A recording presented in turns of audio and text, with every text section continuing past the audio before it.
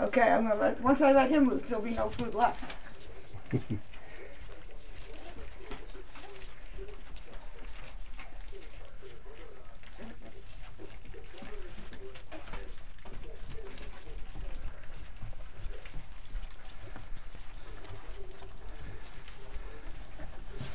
Here.